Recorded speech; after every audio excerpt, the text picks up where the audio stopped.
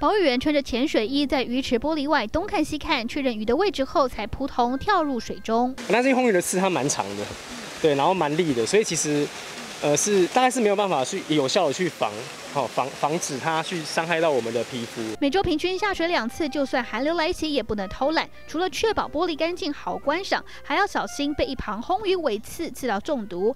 在动物园工作，看似爱动物的梦幻职业，但各种甘苦只有他们知道。尤其根据动物习性不同，保育员们也得练就十八般武艺。耳朵，耳朵给我。耳朵给我。手里拿着饲料，医疗训练课程引导大象们就定位。方建华照顾非洲象五年，但在象群阶级中根本是菜鸟。还好刚好有旁边有资深的管理员在旁边帮我处理，是有稍微威吓了他一下。这只脚给我，这只。镜头转到大猫熊区，保育员横躺在地上采母乳，三小时喂一次奶，两小时后又要刺激排便，同样动作不断重复，几乎没有休息时间。